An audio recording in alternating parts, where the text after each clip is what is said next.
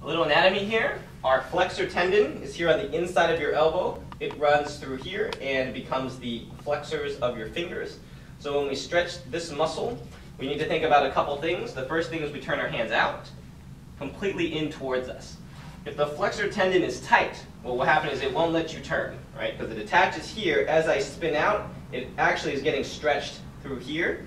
And so you'll see people only be able to turn to here. So when we do our wrist flexor stretch, we want to try to turn all the way out. We want to spread our fingers because we're doing finger extension. And then in this position, we're going to lean back, pressing our wrist down. So that's our wrist flexor stretch, but now we're going to do a peel. So the peel is something I came up with. What I like to do, because I want to stretch the tendons at the end, is I'll lean back and I'll press my fingers down into the floor, peel my fingers back, and then press them down again, and then plant them down. What this allows me to do is I'm stretching at the proximal or closer portion first, and then at the end of the stretch, when it's at its most severe, I will then peel and start to pull the distal end of it. It's actually almost doing kind of a nerve glide technique.